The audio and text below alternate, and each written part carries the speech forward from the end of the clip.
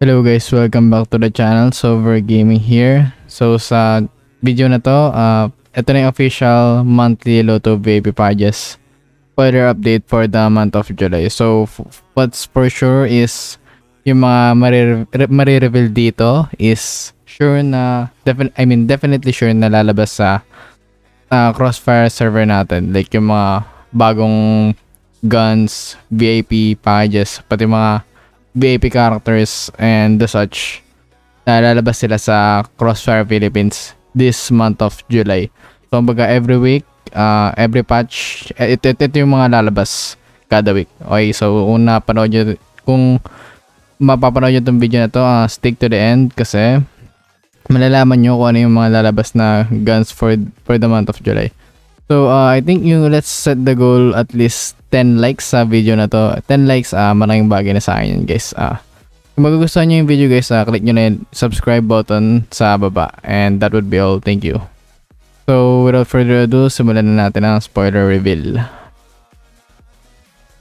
So, mag-start muna tayo sa Bolt Win Streak. Uh, I think yun yung tawag dito. Uh, meron tayong regular Emperor A1 with silencer. And AK-47 knife, parang CS lang siya. Then Desert Eagle. Ah, uh, itong CBJMS, I'm not sure pero ngayon ko lang nakita yan. And new map on Stud for Fortress, hindi ko pa na-check to ZA ba to or PBE. Then sa mga naghahanap ng bara dyan guys, may bago kayo may add sa collection nyo which is yung Bolt Winstreak Barret. And ito naman, bagong uh, S-Pass series na shotgun. Hindi lang sure kung yung mga shotgun na to is nalalagyan ng slug bullet tulad nung ano, nung uh, yung rank match na color blue na Espas or yung Espas Ghetto sa Espas Ares. Um, yung ano kasi na yun, yung shotgun na kasi na yun, pwede mo malagyan ng tag bullet yung pag ni-right click mo lumiliit yung crosser. So, hindi sure kung same purpose sila tong Espas na yun, pero nale-level up siya, level 1 to 3. Siguro um na na-enhance yung feature niya siguro sa zombie mode. Yeah, I think definitely sa zombie mode. Then merong uh, bagong melee, Zaratan Head Mace. So I think makukuha niya sa zombie mode. Then itong Dr. Bolt uh, na character. I think male character yan. Then itong Dr. Bolt Mini. Uh, hindi ko sure kung ano for purpose niyan. Kung melee weapon ba yan or uh, ano tawag dito. Kung dull. Then ito may bagong grenade. Ah, ayan, grenade cube.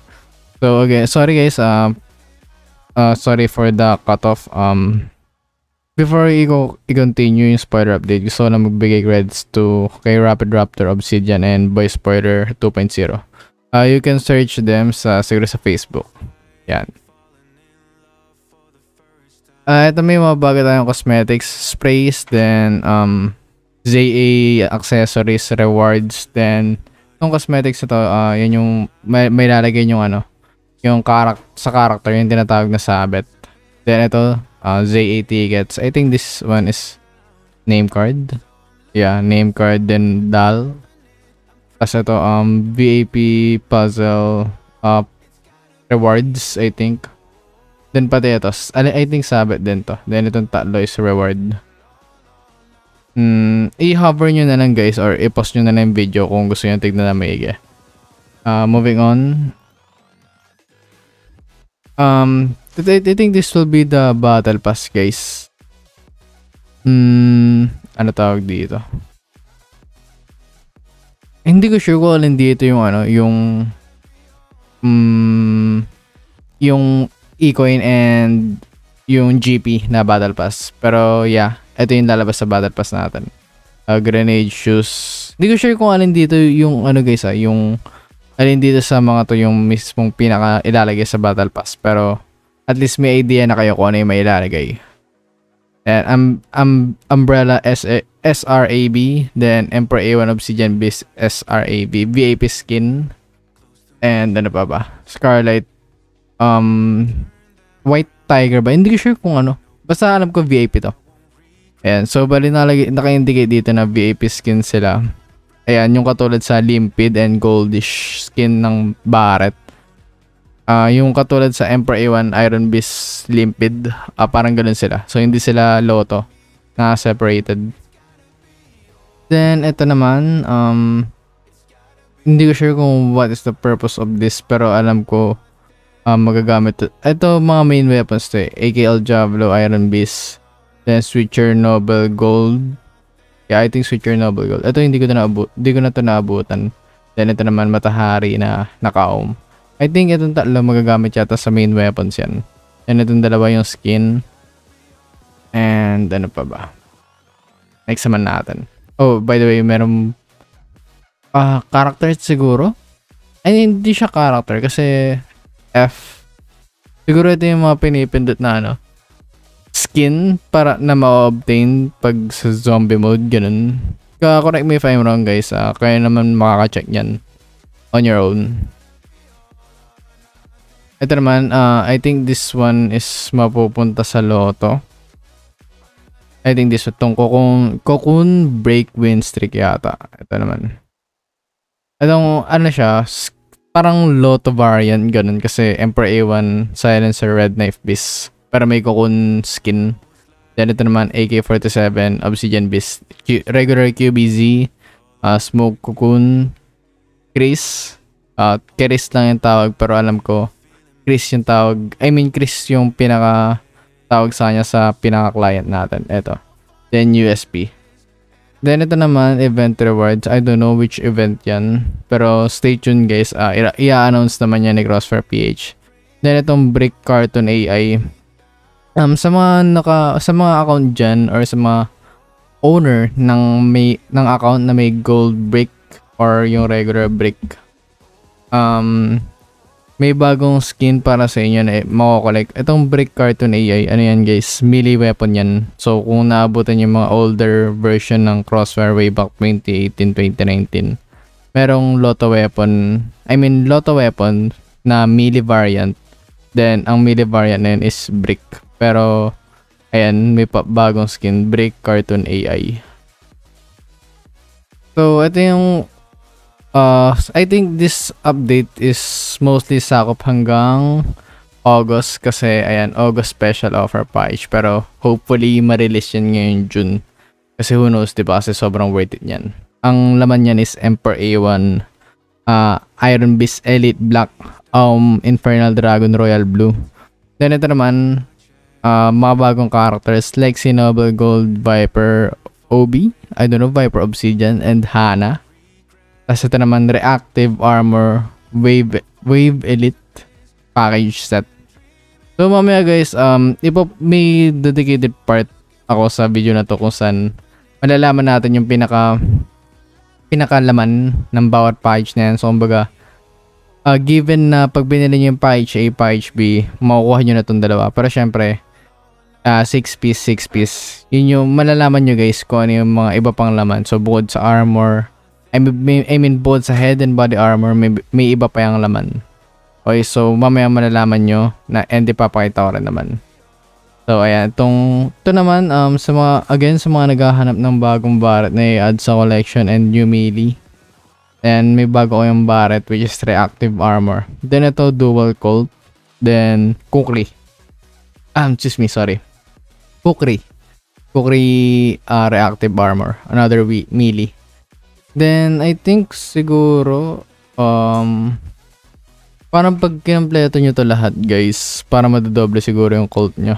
Uh, yun and, hindi ko sure yun, guys, ah, kasi nalagay dito, dito sa ano, set B, um, Barret and Colt, tas another Colt na naman pag kinuha nyo yung set C, basta makuha nyo lang tumili, automatic para madodoble yung Colt nyo. Then, sa set din naman puro utilities uh, mostly grenade flashbang and smoke. Okay? So moving on. Uh mm, okay. So ang nalagay dito is Lotto. So we're sure na malalagay ito sa Lotto. So first another Barret variant. Um VIP variant siya. So mabilis siya madraw. Barret M82A1 Obsidian Beast uh, Orchid or Melia Lotto, Stair TMPA, and USP match. So, under sila ng Orchid and Melia. Then, another um Lotto na ilalagay is yung Iris QBZ na Jewelry. Uh, yung QBZ na Jewelry, pero un naka-dull siya. Kumbaga hawak niyo yung character na to, then maliit lang yung rifle. Tapos meron kayong kung sa mga gustong gumamit ng Copter 357 dyan, uh, may bago kayong skin na gagamitin and ipapartner nyo sa Barret nyo.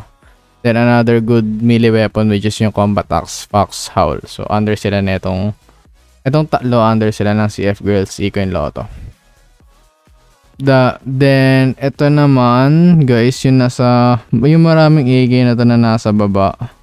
Hindi ko sure kung paano siya ma-obtain, pero mostly, para ano siya, maraming skin. Hindi ko sure kung it's either skin ba tong lahat or magiging iba-ibang variant yan. So, kumbaga, maganda naman kung iba-ibang variant yan kasi, hmm, marami kayong AK na makukolekta. Starting from AK General, Fire Amethyst, Platinum, hindi ko sure kung Peridot talaga to yung, talaga yung tawag dito. Uh, and then, Legendary Rusty. Then, itong V-Dragon yung ko lang ito nakita. So, yan, again. Iba-iba yung kulay starting from pink, black, blue, and purple. So, ayan, i-post nyo na lang muna guys kung gusto nyo tignan na maigi yung mga AK-47 and from uh, season 1, yung Battle Pass season 1 yata. I mean, from season 1 ng Battle Pass pa nung time na yun lumabas yung AK General pero ngayon parang nag-add yata ng skin or variant so knows? Malalaman naman natin pag pinat siya ng Crossfire PH so ayan. Next. So dito guys uh, sa mga nakapag-stay na sa video sa part ng video na to uh, malalaman nyo kung ano yung mga laman ng packages. So unahin muna natin yung characters. So for Red Zone patch update July to August 2023, lalabas yung Pie past the Fates and itong Six-Eyed F. Hindi sure kung ano to. Uh, PAP character siya or sa zombie mode lang siya magagamit. Tulad nung ano. Ah, nakalimutan ko basta merong isang character na ano. Mataas siya tumalan pagdating sa zombie mode. Yung parang sumunod sa switcher. Ayun, subject alpha. Okay, okay, naalala ko na. Subject, parang katulad siya ng subject alpha. Ganun. Pero, I really don't have an idea kung ano talaga yung function niya. So, malalaman ko na lang pag naglaro na lang ako ulit. So, before I continue the spoiler, uh, big credits to Inazuma CFPH. Um, um, pay, ano, pay close attention lang guys kasi i-reveal na natin yung mga packages engine naman nila. Okay, so ito rin yung iba kaganina. Um, ito yung season ay battle pass rewards, then cocoon weapon set, then M60 red white and ito pa pala, JTAC might be ma-left out ko. So sa mga naghahanap ng sniper dyan para mad sa collection niya, meron tayong M200 JTAC emoji skinned. Okay. So, eto may Scarlight, merong Barret, dalawang Barret. So far maraming Barret na lalabas this July. Ayan. Ito yung weapon set kaganina. Ito yung mga ilalagay sa loto. Then ito, another AG General uh, skins. Okay, moving on. Ah, uh, ito yung mga rewards sa ZA yata. Ayan, so merong name card, boss box, dolls for VIP, um, utility, grenade, then dalawang melee. Tapos ito hindi ko sure kung ano yung function na ito. So, ayan. So, yung mga boxes pala kanina is for upgrade ng AA Buster or any rifle that is upgradable and usable for PvE. Okay, yung player versus environment, yung may mga boss battles. Ayan, so ito yung clearer version, I mean clearer picture ng mga naunang guns na na-mention ko earlier. Ayan, Emperor A1, AK-47, Barrett, uh, CBJ, MS, and Desert Eagle. Enter naman yung Espas 12, level 1, level 2, and level 3. Then the new map, um, Onslaught Fortress. Okay? Ito, ito pa yung iba. I mean, ito pa lang yung iba. Yung function ng Dr. Volt. Uh, infinite ammo in zombie modes for 8 seconds when the skill is charged. So, most probably, Ah, wait lang. Nalag nakalagay dito, press E para ma-activate yung infinite ammo. 100 pieces bolt taken, available in 5 star boxes, 20 per box. So mostly, para magko-collect kayo ng rewards para ma-unlock yung ano. Para ma-unlock siguro yung pinaka-function ng Dr. Bolt. So who knows, uh, it's up to you guys to figure out kung ano ba talaga yung function ng character na to. Okay. Pero hopefully in the future magawan ko siya ng uh, character review. Okay? Abangan nyo lang. Okay guys, so nandito na tayo sa part ng video kung saan marireveal natin kung ano pa yung laman ng mga package kaganina. So starting with the Iron Beast, uh, both head and body armor which is for good for 30 days. May another um, may another laman din siya. C4, speed kit, color chat, and revive token. Uh, naka-indicate na dito kung magkano yung package na to. So, it's, again, it's up to you guys kung bibili nyo yung package na to. At least this time nalaman nyo na or mapag-decide nyo na kung bibili nyo siya or hindi. But again, in this video, hindi ko kayo ina-encourage gumastos. Okay? Again, hindi ako nag encourage sa inyo gumastos. Pero it's up to you kung magugustuhan nyo siya. Okay?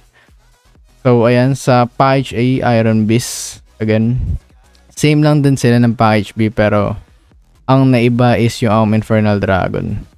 Which is, they're both good for 605 EC. Then, ito naman, yung package B ng Barret uh, Wave Elite.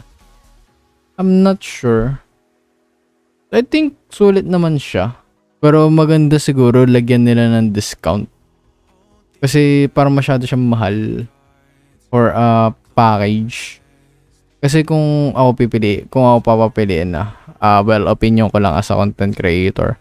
Mas gugustuhin kong bumili ng VIP compare dito kasi uh, although may dual cult siya, pero mostly kasi sa players is gumagamit sila ng COP 357 compare sa cult na yung COP 357 pinapartner nila sa Barret. So, para sa akin, mas gugustuhin ko na bumili ng VIP.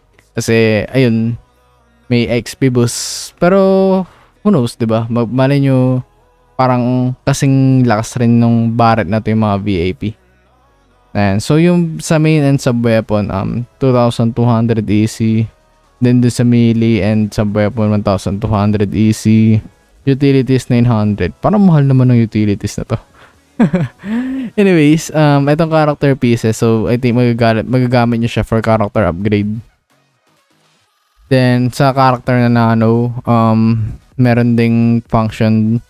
Then, ito. Ito namang uh, crossfire pass. Uh, ngayon ko lang na-heard of yan. Pero, we'll dive deep into that uh, sa upcoming videos. Hmm, ano pa ba? Pero hopefully, uh, para sa akin, maganda bigyan nila ng ano, discount to. Para maraming players na makakuha. Kasi, ano mo yun, para lahat masaya. Hehe. Anyways, moving on. Uh, I think this character yung tinatawag na na ano. Correct me if I'm wrong guys ah. I think tong function na to is para sa kanila. So take a good look lang. Okay, so i-scroll i-hover down nyo na lang ulit sa part na to. Kung mag kung titig, I mean kung pag-iisipan nyo yung ano, yung pagbili ng package saka yung iba pang guns na na-mention ko earlier. And that's it for this video guys. Uh, I, I hope na nagustuhan nyo yung video. Kung nagustuhan nyo yung video, leave a like. At least 10 like lang guys. Uh, okay na sa akin yan. And don't forget to subscribe in for the YouTube channel. That's all guys. Thank you for watching.